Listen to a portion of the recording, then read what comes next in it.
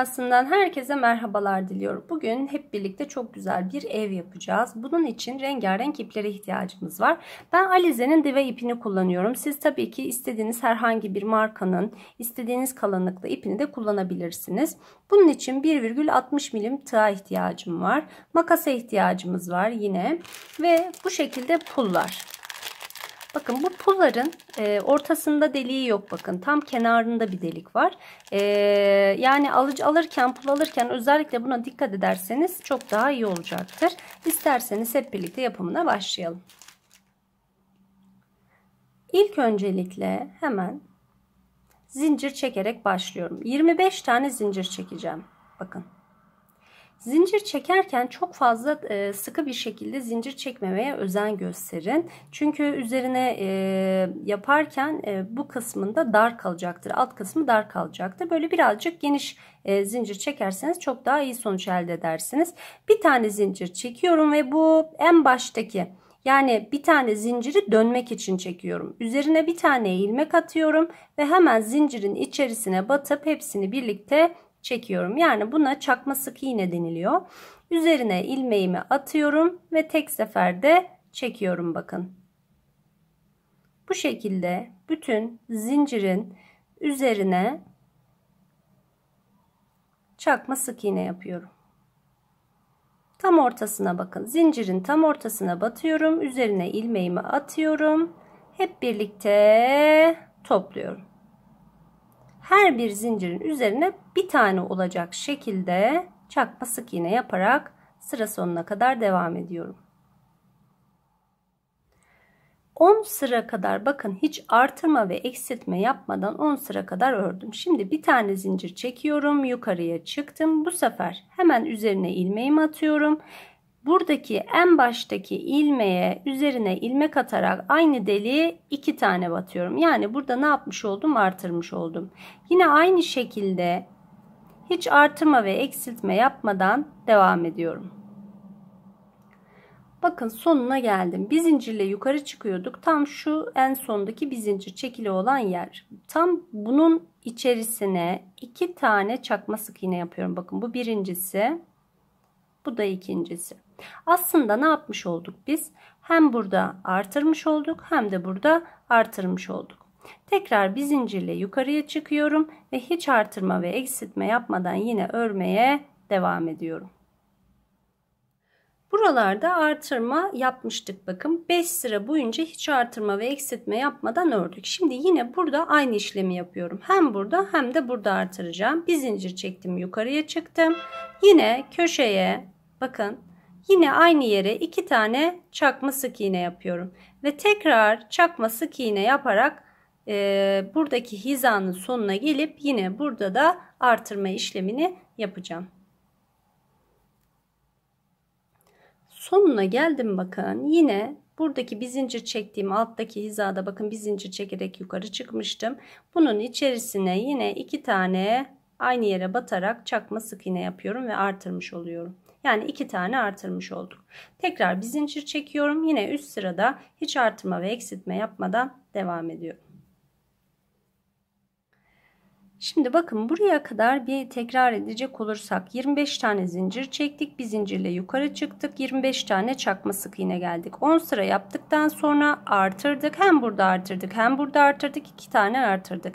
Üzerine tekrar 5 sıra hiç artırma ve eksiltme yapmadan devam ettik. Tekrar hem sağda hem solda artırma işlemini yaptıktan sonra 3 sıra hiç artırma ve eksiltme yapmadan ördük. Şimdi artık çatı kısmına geldik. Burası önemli bakın.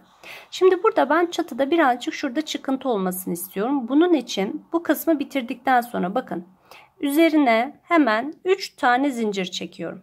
Bu 3 zinciri çektikten sonra geri dönüyorum. Bir tane zincir de dönüş için yani toplamda 4 tane zincir çekmiş olacağız.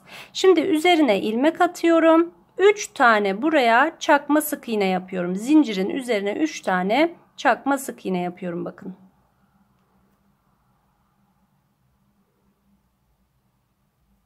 Tekrar bu kısma hiç artırma ve eksiltme yapmadan çakma sık iğnelerin tepesine bakın şuradaki ikilisine batarak yine her zamanki yaptığım gibi devam ediyorum.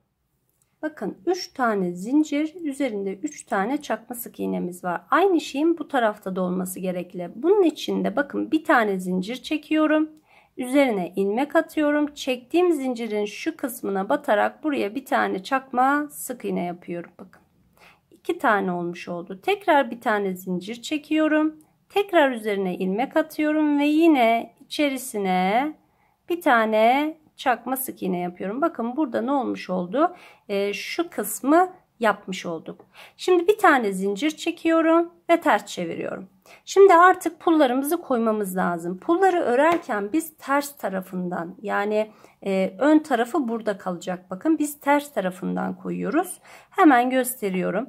Bir tane pul elime aldım. Üzerine ilmeğimi attım. Buradaki e,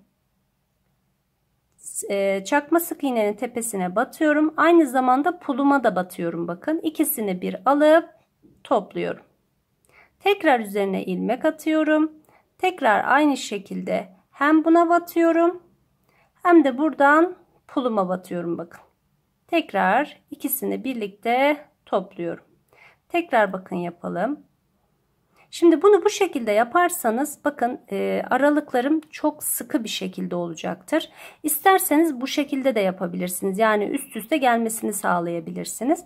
Ben bu sefer bunu yapmak istemiyorum. Bunun için bir tane koyduktan sonra bir tane boşluk bırakıyorum. Yani bir tane pul koydum. Bir tane boş çakma sık iğne yapıyorum. Tekrar üzerine ilmek atıyorum Tekrar ne yapıyorum? Pulumdan koyuyorum. Burada daha çok pul üst üste gelsin isterseniz o zaman bu yapmış olduğum bir aradaki çakma sık iğne yapmayabilirsiniz.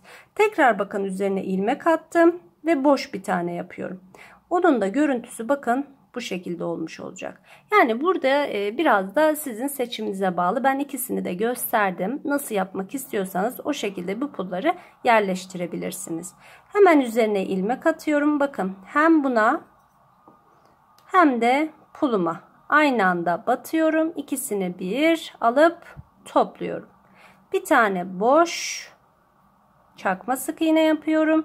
Üzerine ilmek atıyorum. Yine aynı şekilde puluma bakın batıp ikisini bir alıp bakın ikisinin arasından geçirip sonra topluyorum.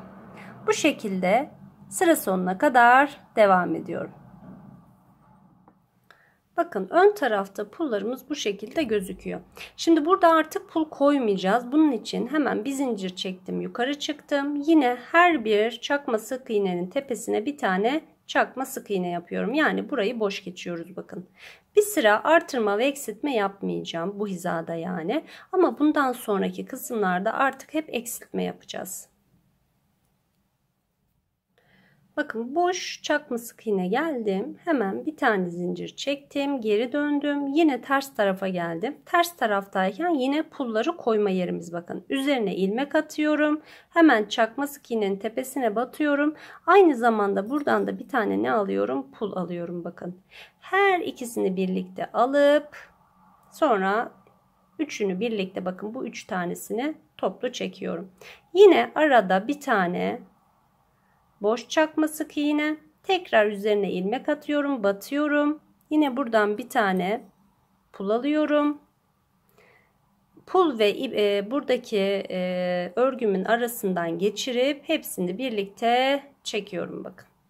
Bu şekilde bu sırayı da bu şekilde devam ediyorum 2 sıra hiç artırma ve eksiltme yapmadan bakın pullarımı koydum. Daha doğrusu 2 sıra pul normalde 4 sıra örmüş oldum. Şimdi e, buradan artık çatı kısmını yapacağımız için eksiltmemiz gerekiyor ama eksiltmelerimizi hep böyle boş geldiğimiz çakma sık iğnenin olduğu tarafta yapacağız. O yüzden e, iki sırada bir eksiltme yapacağız. Ben o yüzden ikişer ikişer tane eksiltme yapıyorum. Yani nasıl? Üzerine ilmek attım. Biri atlayıp ikinciye batıyorum bakın. Tekrar üzerine ilmek atıyorum. Biri atlayıp ikinciye batıyorum. Bu şekilde bakın iki tane eksiltme yapmış oldum. Yine hiçbir şey yapmadan sadece çakma sık iğne yaparak ilerliyorum. Bakın 4 tane kaldı burada. 4 tane kaldıktan sonra yine burada kesme işlemini yapmamız lazım. Bir tane atlıyorum, ikinciye batıyorum. Çakma sık iğne. Tekrar üzerine ilmek attım. Bir tane atladım. ikinciye çakma sık iğne yapıyorum.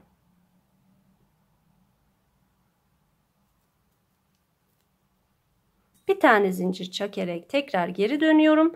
Pulları koyduğumuz ters kısımlarında hiçbir artırma ve eksiltmemiz yok. Eksiltmelerimiz sadece düz kısmı yani şu boş kısmı gelirken var bakın. Hemen üzerine bir tane ilmek atıp buraya batıp hemen pulumu alıp yine aynı şekilde e, bir sıra boş çakma sık iğne bir sıra pul olarak devam ediyorum. Yine bakın ön tarafına geldim. Ön tarafında yine eksiltme. Aslında mantığımız bu. Çatıyı yaparken pulları koyduğumuz tarafta bu tarafta artırma ve eksiltme yapmıyoruz. Ama bu ön tarafta yani şu düz kısmını geldiğimiz tarafta iki buradan iki buradan eksilterek sivri bir şekilde çatıyı yapıyoruz. Yani bir tane zincir alıyorum. Zincir çekiyorum. Üzerine ilmek attım. Bir atladım. ikinciye batıyorum bakın bir tane azaltmış oldum. Tekrar üzerine ilmek attım. Bir tane atladım. ikinciye battım. Ve bu şekilde ne yapmış oldum? İki tane e, çakma sık iğneyi eksiltmiş oldum. Yine aynı şekilde devam ediyorum.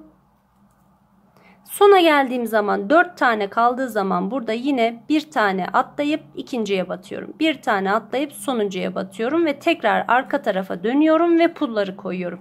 Bu şekilde e, çatımızı tamamlıyoruz. Çatımız bakın bitmek üzere. Ee, eğer benim dediğim gibi buradaki normal çakma sık iğneleri gelirken bir sıra boş geldiğimizde eksiltme yapıyoruz. Eğer hep aynı şekilde burada eksiltme yaparsanız daha böyle sivri bir e, çatınız olacaktır. Eğer çok sivri olmasını istemiyorsanız o zaman da e, hem burada bakın iki burada kestim, iki burada kestim. Döndüm şimdi birer tane de e, buradaki pulları koyarken keseceğim. Bunun için de bakın bir tane atlayıp ikinciye batıyorum. Hemen pulumdan alıp ondan sonra buraya çekiyorum. Bakın ikisini bir alıyorum. Yine aynı şekilde bir tane boş bir tane pul koyuyorum. Yine bir tane boş, bir tane pul koyuyorum. Yine bakın bir tane boş. Şimdi bakın yine sonuna geldik. İki tane kaldı. Hemen burada bir tane atlayıp ikinciye batıyorum. O zaman bakın biraz daha çatımız böyle sivri bir çatı değil de biraz daha bakın çok sivri bir çatı değil de hemen bakın çatı kısmına ulaşmış oluyoruz. Yine burada bakın eksiltmemi yapıyorum. Artık eksiltme bu, bu hizada bakın çok fazla eksiltme yapamıyoruz. Çünkü direkt sonuna geldik. O yüzden burada bir tane eksiltme yapıyorum. iki tane ördüm. Bakın iki tane çakma sık iğne. Bakın burada bir, iki, üç tane kaldı. Bir tane daha çakma sık iğne örüyorum. Ve tekrar bir tane atlayıp diğerine batıyorum. Şimdi evimizin kapısını yapacağız. Bunun için hemen 6 tane zincir çekiyorum. Üzerine ilmek atıyorum ve ikinciden itibaren yine bu e, evimizde kullandığımız teknik hep çakma sık iğne bakın. Her zincirin üzerine bir tane çakma zincir çekerek ilerliyorum.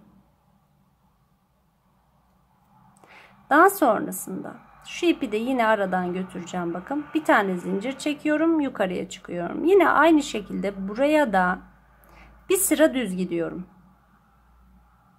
artırma ve eksiltme yapmıyorum. Her bir çakmanın sık iğnenin üzerine birer tane çakma sık iğne yapıyorum.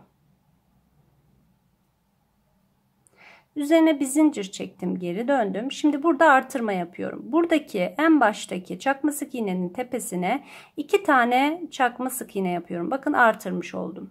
Yine devam ediyorum çakma sık iğne ile en sonuncunun üzerine geldiğimde yine bakın buraya iki tane çakma sık iğne yapıyorum. Ve bu şekilde artırmış olduk. Tekrar bir tane zincir çekiyorum geri dönüyorum. Hiç artırma ve eksiltme yapmadan bu hizayı tamamlıyorum. Bakın her bir çakma sık iğnenin tepesine yine birer tane çakma sık iğne yapıyorum.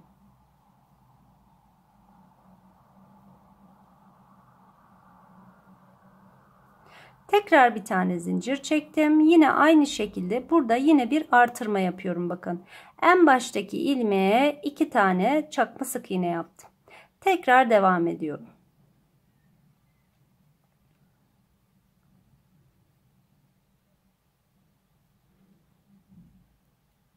En sondaki ilmeğe geldiğimde yine aynı şekilde artırma yapıyorum. Bu çakma sık iğnenin tepesine de iki kere batıyorum. Bakın bir artırmamız oldu burada. Şimdi üzerine bir tane ilmek atıyorum. Pardon bir tane zincir çekiyorum. Geri dönüyorum. Bir, iki. Baştan ve sondan iki tanesini e, çakma sık iğne yapıyorum. Diğerlerine ikili trabzan bakın. Diğerlerine ikili trabzan yapıyorum. Bir, iki. 3 4 5 pardon son ikisini e, çakma sık iğnemiz yap, yapacaktık. E, hemen buraya çakma sık iğne yapıyorum. Son ikiye çakma sık iğne daldım. Ben de ikili trabzan devam ediyorum. Yine bir tane zincir çekiyorum. Yine aynı şekilde en baştaki iki tane ilmeğin tepesine yine iki tane çakma sık iğne yapıyorum. Yine buradaki ortadaki bakın 1 2 3 4 4 tanenin üzerine ikili trabzan yapıyorum.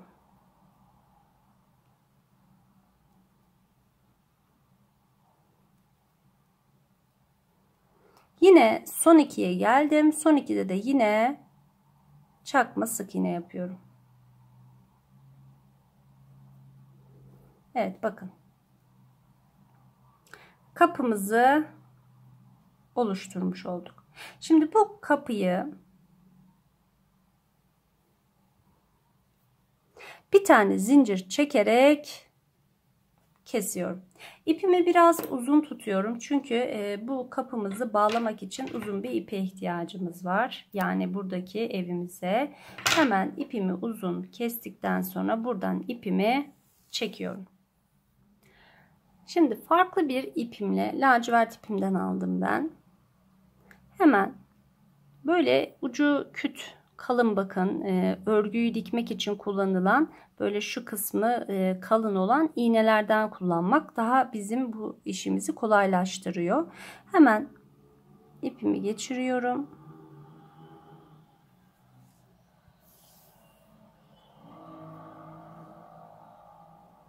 Şimdi bizim buraya kapımızın tokmağını yapmamız lazım. Hemen bir tane düğüm attım. Şuraya bakın kapı tokmağı yapacağız. O yüzden arkaya bu ipi bağlıyorum.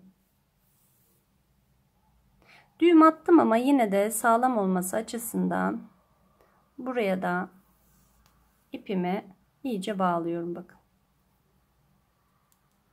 Fransız düğümü deniliyor zannediyorsam buna. Şimdi buradan iğnemi çıkartıyorum bakın. Daha sonrasında bakın burası önemli. İğnem burada. İpi çıkarttıktan sonra buraya üzerine 1, 2, 3 ve 4. 4 tane doladıktan sonra yine aynı yere değil de onun şöyle birazcık daha yanındaki yere bakın batıyorum ve şuradaki ipimi iyice çekiyorum. Daha sonra bu ipimi bakın buradan tutuyorum. Elimle tutuyorum. Ve buradan iğnemi geçirdim bakın. Evet. Bakın kapımızın tokmağını yapmış olduk. Buradan da hemen şuradan ipimi de buraya kilitliyorum ki orada bir gevşeme olmasın. Kapımızın biraz böyle ben e, süslü olmasını istiyorum. O yüzden ipimle lacivert ipimle yukarıya çıktım bakın. En üstten itibaren şuradaki kısımlarına batarak şöyle geliyorum bakın. Tekrar geriden ileriye doğru şu kısma bakıyorum batıyorum bakın tam ortadaki kısma batıyorum üstteki kısmın tam ortasına batıyorum yani boşluğa batmıyorum bakın o zaman bu çizgilerimiz daha düz olacaktır bakın tekrar hemen dibine bakın şu kısma şuradaki boşluğa değil de şu araya batıyorum bakın tekrar aralardan batarak kapımı biraz daha güzel hale getiriyorum. Ayrıntıyı seviyorum ben. Böyle minik ayrıntılar hayata lezzet katıyor çünkü. Küçük bir şey belki ama bakın mavi kapımız böyle daha bir renkli hale geldi. Yine aynı şekilde alttaki hizadan da bakın alttaki hizadan da geleceğim. Hemen şuradan batmak istiyorum ben. Şimdi bu kapımızı artık buradaki evimizin ister orta kısmına dikebilirsiniz, ister kenar kısmına dikebilirsiniz. Ben genelde orta kısmına dikmeyi seviyorum kapıyı. Tam ortada olacak şekilde bakın. Biraz elimle de düzelteyim. Evet. Şu şekilde koyuyorum. Orantılı olmasını isterseniz buradaki kenarlarını sayabilirsiniz ya da göz kararı benim yaptığım gibi ayarlayabilirsiniz. Bunu yaptıktan sonra hemen yine bakın bu ipim ipimi uzun kesmiştim zaten. Şöyle elime alıyorum. Ve bu şekilde ipimi bakın hem alttan hem üstten olacak şekilde dikiyorum. Sıra geldi camlarımıza. Bunun için 1, 2, 3, 4, 5. 5 tane zincir çekiyorum. Bakın hatta şu şekilde koyup sayısını artırmak ya da azaltmak hani buna da e, karar verebilirsiniz. Ben bir tane daha çekiyorum. Üzerine ilmek atıyorum. 5 tane çakma sık iğne yapıyorum. Hemen ipimi de alıyorum buradan. Bir tane zincir çekip yukarıya çekiyor, çıkıyorum. Geri dönüyorum. Ve hiçbir artırma ve eksiltme yapmadan çakma sık iğne yaparak devam ediyorum. 7 sıra hiç artırma ve eksiltme yapmadan çakma sık iğne yaptık. Bakın iki tane camımız hazır. Şimdi lacivert ipimi aldım. Şimdi camımızın Böyle ortadan ben ayırmak istiyorum. İki tane cam görüntüsü vermek istiyorum. Hemen bakın. Ortadan hemen ortadan ipimi buraya bağladım. Daha sonrasında bakın tığım ön tarafta. ipim alt tarafta. İpimi alttan alıp tığımın içerisindeki ilmeğimin içerisinden geçiriyorum. Bakın tekrar yapıyorum. Alıp ilmeğimin içerisinden geçiriyorum. Bu şekilde bakın ortada böyle bir çizgi oluşturuyoruz.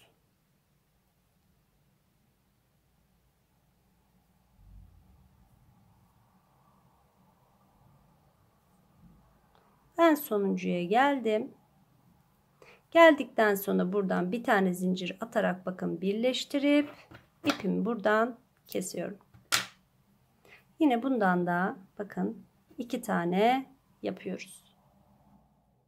Ortasını geldikten sonra bakın hemen yine aynı renk ipimi aldım. Lacivert ipimi aldım. Şu şekilde alttan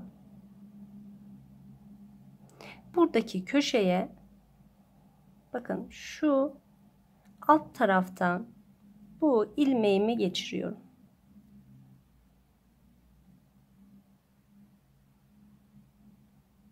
Şu şekilde geçirdim. İsterseniz buraya bir tane e, sık iğne yaparak pekiştirebilirsiniz. Şimdi ipim altta kalacak. Örgüm üstte kalacak. Alttan geçiriyorum. Arasından geçirerek ilmek kaydırma yöntemiyle ilerliyorum bakın ipim altta alttan alıyorum üstten ilmeğimi geçiriyorum. Yine aynı şekilde alıyorum ve arasından geçiriyorum. Bu aradaki iplerimi de her zaman olduğu gibi aralarda götürerek kaybediyorum.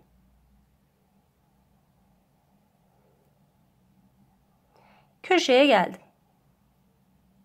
Köşeye geldikten sonra iki tane zincir çekiyorum ve buradaki şu kısma ikili trabzanlar yapıyorum. Hemen bakın araları boş olmayacak ve çok sıkı olmayacak şekilde hemen kenarlarına ikili trabzanlarımı yapıyorum. En köşeye de geldim. ikili trabzanımı yaptım bakın. Şimdi ters sık iğne ile buradan geri döneceğim. Yani hemen geriye doğru sık iğne yapıyorum bakın. Geriye doğru. Geriye doğru batıp her ikisini birlikte alıyorum. Ters sık iğne bir tane boşluk bırakıp bir tane de atlayabilirsiniz. O zaman daha güzel olacaktır. Bakın bir tane atlıyorum. Diğer ikili trabzanın üzerine batıyorum ve normal sık iğne yapıyorum. Bu şekilde camımızın bu kenarlarına gelmiş oluyoruz. Kenara geldikten sonra ters çevirip hemen en başa ilmek kaydırma yöntemiyle birleştirip bir tane zincir çekerek ipimi buradan kesiyorum. Köşeden bakın buradaki köşeden üstten tığımızı batırıyoruz. Alttan ipimizi çekip hemen buraya bir tane sık iğne ile bağlıyoruz. Daha sonra ilmek kaydırma yöntemiyle ilerliyoruz. Köşeye geldikten sonra iki tane zincir yine aynı şekilde ikili trabzanlar yapıp tekrar e, ters sık iğne ile geri döneceğiz. Şimdi sıra geldi bacamızı yapmaya. Bunun için de hemen 6 tane zincir çekiyoruz.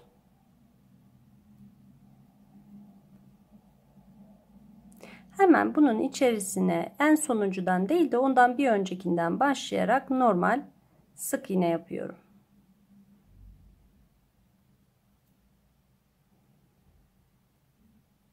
Beş tane sık iğne yaptık.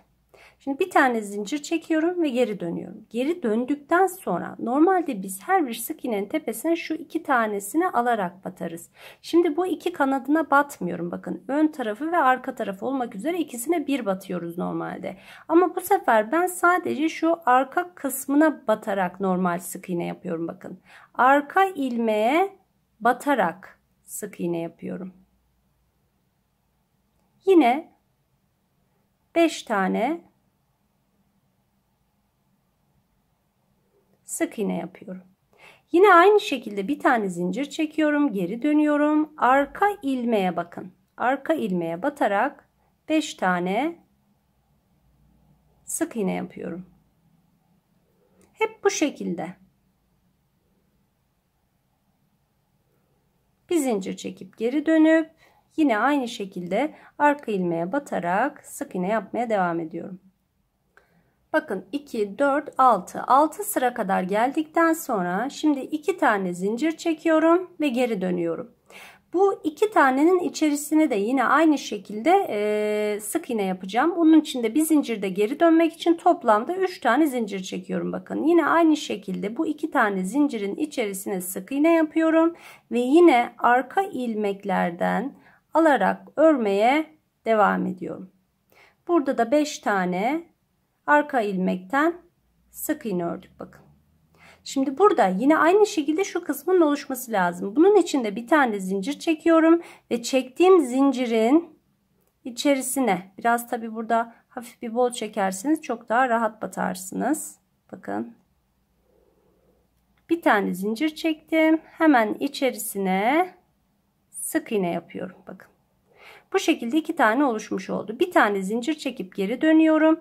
Yine bunun arka ilmeklerinden alarak bakın bir sıra daha örüyorum.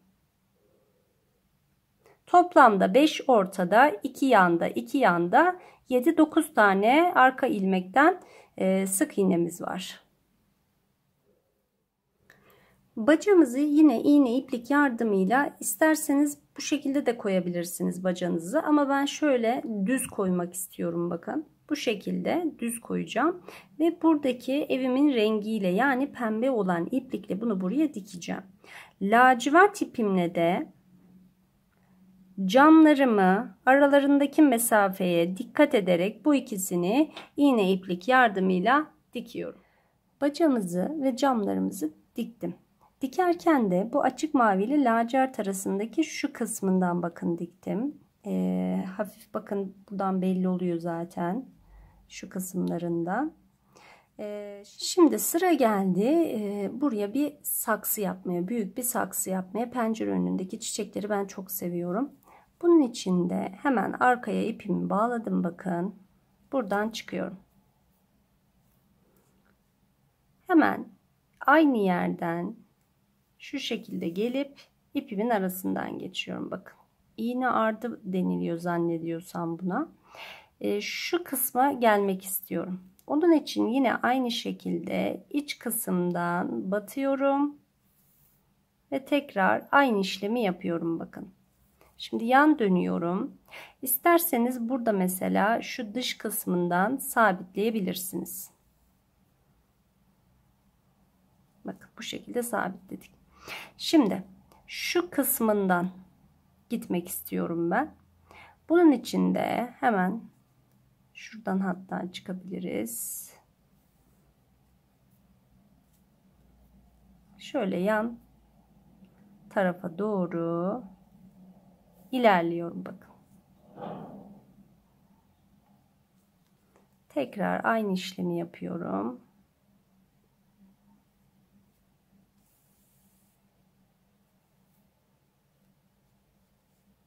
Bakın tekrar içten batıyorum. Şöyle içinden geçiriyorum. Şimdi yine alt hizaya şu kısma gelip bu sefer de bu tarafa doğru gideceğim. Yine aynı şekilde aynı işlemi yapıyorum bakın. İki sıra kadar yapmak istiyorum bundan. Saksılarımızın bakın e, bitirdikten sonra içlerine böyle minik minik çiçekler. Bunun için ilk önce yeşil ipimi yine taktım bakın arka tarafa. Böyle hafif hafif yapraklar oluşturuyorum. Bunun için de tamamıyla doğaçlama. İsterseniz böyle çıkabilirsiniz de hafif böyle hmm, buradaki saksıdan yapraklar çıkabilir de bakın. Yapraklarımızı yaptıktan sonra şimdi bu minik çiçeklerimizi yapmaya sıra geldi. Bunun için de hemen istediğiniz yere yapabilirsiniz. Bakın iğnemi çıkartıyorum. İpin çıktığı yerden itibaren iğneme 1, 2, 3 defa doluyorum bakın. Şuradaki boşluk kalabilir ama şimdilik onu daha sonrasında yok edeceğiz bakın. Hemen iğnemi yine aynı şekilde aynı yerden batırıyorum ve buradaki ipimi çekiyorum. Buna sanırım Fransız düğümü diyorlar nakış işleyenler. Ee, ve ipimi buradan çekiyorum. Çekerken bu ipimi de bırakmıyorum bakın. Çünkü o zaman düğümümüz güzel olmaz. İpimi bırakmıyorum ve ipimi arkadan çekiyorum bakın. Çiçeğimiz oluştu. Bir tane daha yapalım hemen. Bakın çıkarttım. İpin çıktığı yerden itibaren 1, 2, 3. 3 kere doluyorum. İğnemi batırıyorum ve buradaki sol taraftaki ipimi çekiyorum. Arkadan iğnemi çekerken yine bu ipimi bırakmıyorum. Ve bakın düğümüm yani e, çiçeğimiz oluştu. İstediğimiz yere yapabiliriz. Birazcık camlara da böyle gelsin istiyorum. 1, 2, 3 ve hemen aynı yerden buradaki ipimi iyice çekiyorum ve iğnemi arkadan çekiyorum. Bu şekilde çiçeklerimizi istediğimiz renklerde yapabiliriz. Evimiz bitti. Çiçeklerimizi de bakın rengarenk yaptık. Ee, arkadaki bu ipliklerin gözükmemesi için arkasına keçeyle e, keçe e, yapıştırıcısıyla keçeyi yapıştırıp yine kenarlarından kesip herhangi bir yere asabilirsiniz. E, ya da battaniyelerinizin üzerine böyle çocuk battaniyelerinin üzerine böyle minik evler yapabilirsiniz. Aslında burada biraz sizin hayal gücünüz çok önemli. O yüzden yaptığınız evi istediğiniz herhangi bir alanda kullanabilirsiniz diye düşünüyorum. Ben bu evlerden bir tane daha yaptım. Bakın bu da 35 zincir çekilerek yaptığım evim bakın. Yine aynı mantıkla yaptım. Biri büyük, biri küçük oldu. Umarım beğenmişsinizdir. Bir sonraki videomda tekrar görüşmek üzere. Kendinize çok iyi bakın. Tasarım dünyasından herkese sevgiler diliyorum. Hoşçakalın.